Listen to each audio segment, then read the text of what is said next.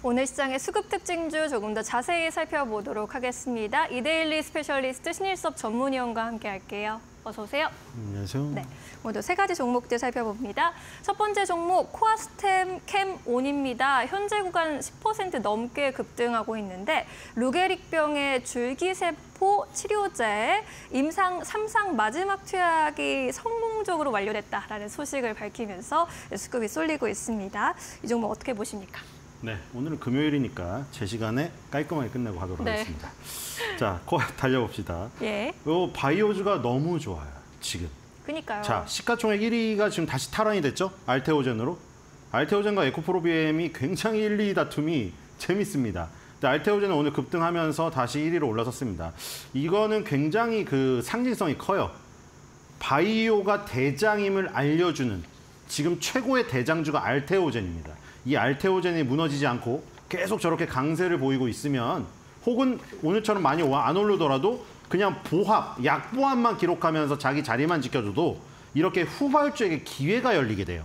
지금 이 코아스템 캐몬 같은 경우는 줄기세포 관련주 우리가 그 황우석 박사 사태 기억하시죠? 그때 우리가 줄기세포 관련주에 거의 세계를 지배할 뻔했었던 역사가 있었잖아요. 다들 네. 기억하시는 분. 뭐 바꿔치기로 인해서 좀 말로가 안 좋게 됐지만 네. 그 당시에 이제 줄기세포 관련주가 엄청나게 득세를 보였습니다. 근데 그게 나중에 뭐 난자에서 채취하고 뭐 어쩌고 뭐 도덕적인 문제까지 거론이 되면서 이제 막 완전 저물어 버렸죠. 그 완- 완전 지금 그 그때가 흑역사가 돼 버렸죠, 지금. 그니까요. 근데 지금 이제 줄기세포 관련주까지 빛이 온다는 것은 지금 우리나라 바이오가 지금까지 이 바이오 역사상 가장 실적이 가장 찍히면서 가장 내실 있게 가장 성공 케이스가 많은 가운데 가고 있다는 네. 지금 반증이에요.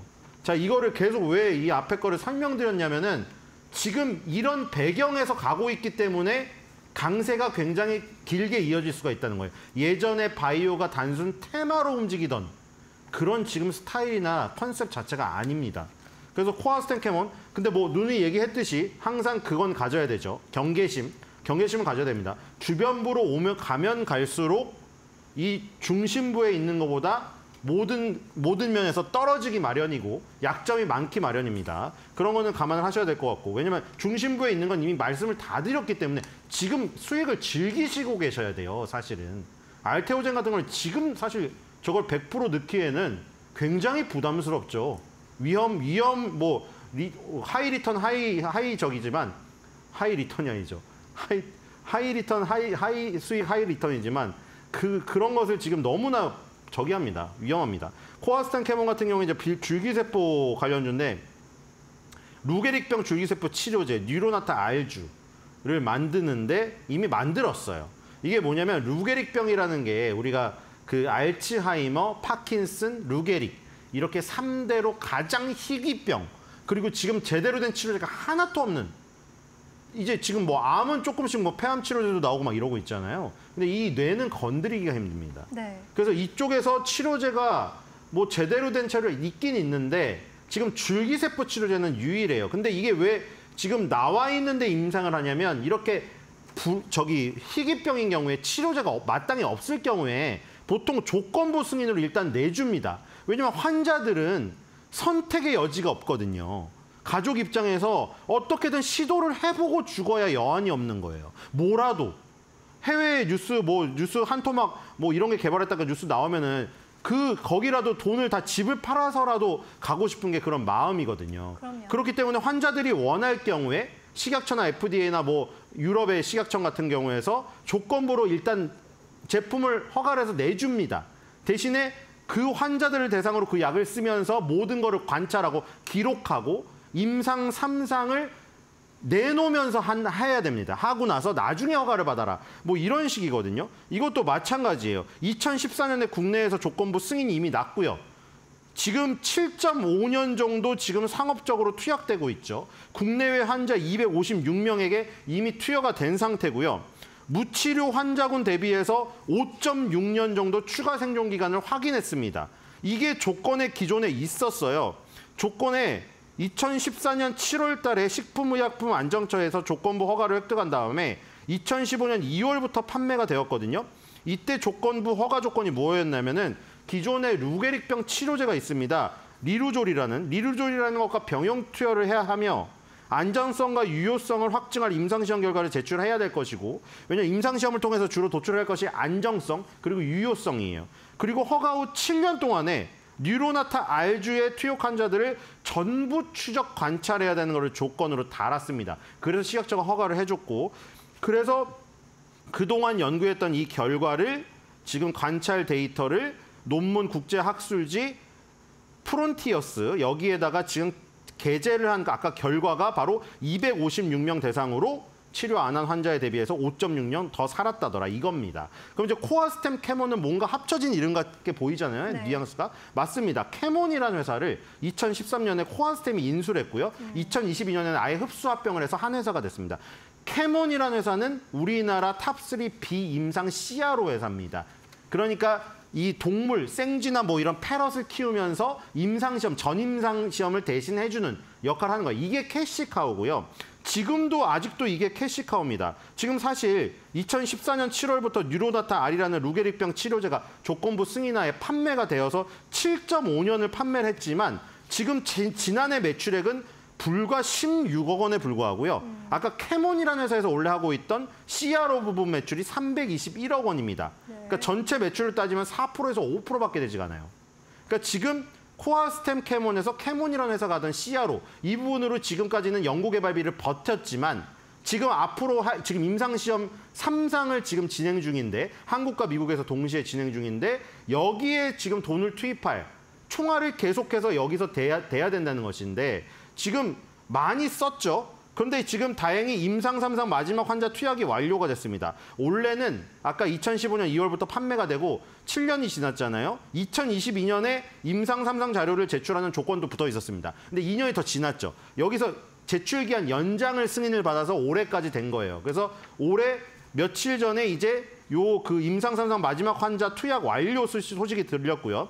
그럼 이제 이 임상 데이터를 가지고 이제 FDA 승인을 신청할 계획입니다. 근데 여기서 이제 요즘에 급등한 이유가 렐리브리오라는 이 지금 이 약이 있습니다. 아밀, 아밀릭스 파마슈티컬스에서 만든 건데 나스닥에 상장되어 있어요. 이 회사 주가가 얼마 전에 급락을 했거든요. 왜냐하면 이 회사도 마찬가지로 그 저기를 받았어요. 조건부 승인을 받았어요. 루게릭병이나 파킨스병이나 알츠하이머병은 다 그래요. 치료제가 대부분 없고 정복하기가 너무 힘든데 환자들은 치료제가 없으면서 그냥 세월만 보내야 되니까 조건부 승인을 해주는 경우가 많습니다. 너네 해줄 테니까 일단 환자들 살리면서 살릴 수도 있으니까 살리면서 그 데이터 축적해서 임상 삼상 보고해 이런 거예요. 네. 그래서 지금 렐리브리오도 마찬가지예요. FDA 자문위원회에서 1차 심의, 심의위원회에서 승인 반대 의결을 했는데 루게릭병 환자들이 요청을 했어요. 제발 이거 해달라. 그래서 2차 심의에서 확정, 시- 확증 임상을 실패할 시 시장에서 철수하라는 조건을 붙이고 1차 승인에서 반대 의결이 났음에도 승인을 일단 해줬습니다. 그래서 이제 임상 삼상을 하는데 예. 올해 3월 달에 발표를 했는데 렐리브리오가 48주 동안 참여자가 호흡, 삼키기, 말하기 능력 이런 것들. 그러니까 루게릭병이 모든 근육이 근육의 힘이 없어져 버리고 뭐 걷지도 못하고 이렇게 돼 버리는 거예요. 네. 그게 이 능력을 척- 측정했는데 위약, 가짜약이죠. 가짜약 대비해서 나은 성과를 내지 못했습니다. 그러니까 보통 가짜약을 줘. 그러니까 환자들한테 가짜약이라고 하면은 당연히 그 효과가 없다는 거 알기 때문에 환자들이 안 해요 임상을. 근데 가짜약인지 안마라고 하는 거죠. 플라시보. 안 그쵸 안마라고 이쪽은 가짜 약을 진짜 약인지 아는 렐리브리온지 다 알아요 알고 있어요 그렇게 알고 있는데 이 사람들한테는 가짜 약 이 사람들한테는 진짜 약을 투여해서 비교를 해보는 거죠 네. 근데 그 위약 대비해서 나은 성과를 내지 못했고 환자들이 보고한 내용도 삶의 질과 생존 호흡 기능이 크게 향상되지 못한 것으로 도출돼서 아까 그 조건대로 확증 임상 그러니까 임상을 통해서 확증을 해야 되는 거예요. 확증을 못했기 때문에 시장 철수 조건이 걸려 있었죠. 시장에서 철수했습니다. 그래서 지금 현재 남아 있는 게 FDA에서 승인받은 이 루게릭병 치료제가 딱 네 개예요. 근데 렐리브리오가 그 중에서 나가버렸거든요. 그래서 이제 뉴아, 뉴로나타 R이라는 걸 만들고 있는 코아스템 캐몬에게 기대감이 부풀기 시작한 거죠. 물론 이 기대감이 현실로 이어질지는 모릅니다. 하지만 이렇게 어렵다는 게 증명이 됐기 때문에 임상 3상 투약 완료를 한 지금 뉴로나타 R을 갖고 있는 코아스템 캐몬에게 이 지금 요 관심이 몰리고 있는 지금 이런 상황입니다. 네, 아무쪼록 잘 됐으면 좋겠습니다. 바이오주 잘 가고 있어서 종목 하나 더 보도록 할게요. S 바이오메딕스 이 종목도 흐름 나쁘지 않은데 조금 불안한 부분이 있네요. 보니까 투자주의 환기 종목으로 지정이 돼 있습니다. 반기 자기 자본 잠식률이 50%를 추가하면서 거래소로부터 환기 종목으로 지정된 것 같은데 이 종목은 어떤가요? 괜찮습니까? 네, 이것도 일단 줄기세포 관련주고요. 자, 네. 줄기세포 관련주가 마이너죠. 말했듯이 10, 뭐 20년 전인가요, 그때? 20년 전에 일어났던 그때 강, 강세를 띠던 것들이 지금 얼굴이 완전 바뀌었어요. 알테오젠 리가켄바이오가 줄기세포 관련주가 아니잖아요. 그러니까 지금의 주인공이 아니란 얘기예요. 근데 계속 한, 하는 이유는 아까 그 얘기인 거죠. 알테오젠을 중심으로 지금 퍼져나가고 있어서 주변부까지 이제 온기가 미친다는 거죠. 근데 아까 말씀드렸다시피 막 이런 경우에 이런 경우 이런 경우가 많다는 거죠. 지금 바이오 벤처가 상장할 때 미래의 가능성은 있으나 지금 현재 돈이 없을 경우에 일단 상장은 시켜주는데 너네 상장해서 적자 인정해주겠는데 5년을 초과해서 6년째까지 영업 적자면 너네 적이야? 뭐 이런 거죠. 그리고 중간에 이렇게 자본 잠식을 당하는 경우. 그러니까 일단 반기 자본 잠식률 50% 초과했다는 이유로 거래소로부터 투자주의 환기 종목으로 지정되었는데 이게 8월 16일 날 투자주의 환기 종목이 지정됐습니다. 근데 S바이오메딕스에서 나와서 말했어요. 8월 16일 투자주의 환기 종목 지정과 관련해 주주분들 걱정이 많으셨을 거라 생각한다. 이와 관련해 다시 한번 사죄의 말씀을 드린다 했는데 8월 16일 이거 받기 전에 이미 7월 달에 자기네가 받고 있는 그 감사 기관한테 이미 감사를 요청을 해가지고 자본 잠식률 50% 미만임을 이미 확인을 했습니다. 8월 16일 날 그 공시가 나오기 한 달 전에요. 근데 이거를 왜 했냐면 이미 이런 것 때문에 터치당할 거를 알아서 자기네가 감사인을 통해서 돌려봤더니 아니다. 근데 왜 이게 걸렸냐면은 지금 오히려 주가가 급등해가지고 손- 파생상품에서 손실이 났어요. 주가가 오히려 급등을 해가지고 파생 상품에서 손실이 난 부분 때문에 자기 자본이 잠식한 걸로 나왔다. 그래서 어쨌든 규정은 어쩔 수 없이 규정대로 적용이 돼야 되기 때문에 일단 자본 잠식 50% 이상에 따른 투자주의 환기 종목으로 지정이 된 거는 지울 수가 없고요. 대신에 이거를 환기 종목 지정을 해지하려면 반기, 온기, 그러니까 6월 6개월 2분기 기준, 온기는 4분기 기준으로 재무제표를 통해서 확정을 시켜야 해제를 해줍니다. 네. 그러니까 지금 10월 달이기 때문에 올해가 지나서 올해 1, 2, 3, 4분기 재무제표가 확정이 되어야 내년도 3월 1분기 때 환기 종목 지정이 해제가 됩니다. 근데 이제 회사에서 밝힌 대로 지금 오히려 주가가 급등해가지고 이 지금 회사가 그 중간에 자금을 수혈할 때 파생 상품을 발행을 했는데 주가가 급등해서 오히려 지금 자본 잠식이 되는 결과를 초래했기 때문에 이거는 지금 자기 자본이 진짜 뭐 다른 이유로 잠식돼 가지고 회사가 망할 건 아니다 라는 거를 해명했기 때문에 여러 언론에서도 그렇게 말을 하고 있고. 네. 그래서 예 그런 부분을 일단 조금 저기가 된 것 같고요. 해소가 된 것 같고. 그리고 이것도 주- 줄기세포 관련주인데 얘네는 또 뭐냐면 얘네도 마찬가지예요. 중증 중증 하지 허혈이라는 병입니다. 이게 심각한 병인데 치료가 만약 지연될 경우에는 6개월 내에 주요 사지를 절단하지 않으면 해결 방법이 없는 엄청난 병입니다. 네. 혈류의 감소로 점진적으로 하지에 허혈이 발생하는 병이거든요. 그래서 심한 허혈성 통증을 유발하면서 조직에 괴사가 일어나기 때문에 괴사된 부분을 잘라낼 수밖에 없는 거예요. 그렇기 때문에 여기도 제대로 된 치료제 자체가 없습니다. 아까 전에 루게릭병은 그래도 FDA에서 승인받은 게 네개인가 있는데 여기는 아예 없어요. 치료제가. 그렇기 때문에 여러 부분에서 기대를 하고 있는 건데 여기 지금 요 에스바이오메딕스에서 만들고 있는 것은 중증 하지허혈 세포 치료제 FECS FEC FECS-Ad 이걸 지금 뭐 주- 저기 한자로 하면 동종 중간엽 줄기세포 3차원 spheroid입니다. 이게 1상 2A상 요거를 같이 동시에 지나, 지나고 있거든요. 1상하고 2A상. 그러니까 안전성 안전성과 유효성을 평가하고 유효성이 평가된 거에 맞춰서 용량을 늘리는 1에서 2A 이상까지 지금 가고 있다는 거. 근데 일단 1에서 2A 이상 요 결과가 좋게 나왔습니다. 안정성하고 유효성이 확인됐어요. 그러니까 안정성은 처음에 전임상 동물 대상으로 해봤다가 동물한테 안전하면 인간한테 일상에서 보통 안전성을 확인하는데 안정성이 안 되면 사실 유효성이 필요가 없습니다. 아무리 약이 유효하더라도 인간을 해칠 정도로 안전성이 부, 부- 부- 저기 보, 보답이 안 되면 저 안 됩니다. 담보가 안 되면은 갈 이유가 없고요. 대신 안전성이 지금 확인이 됐고 그다음에 유효성이죠. 유효성에서 여러 가지 그 지표들이 있는데 예를 들어 허혈성 통증 지표 변화가 있습니다. 이게 투여하고 나서 24주 후에 저용량군에서 73% 통증 감소 효과가 있었고요. 고용량군에서는 96% 통증 감소 효과가 있었습니다. 그리고 또 다른 거, 무통증 보행거리. 아까 말한 대로 루게릭병은 근육에 힘이 다 빠져가지고 걷지도 못하고 아무 활동을 못하는 거예요-. 그래서 보통 루게릭병이든 파킨스병이든 알츠하이머든 다들 보행 운동을 재활 운동을 많이 합니다. 그래서 무통증 보행거리 결과라는 게 있는데 무통증 통증이 없는 상태에서 보행 거리가 얼마나 됐느냐?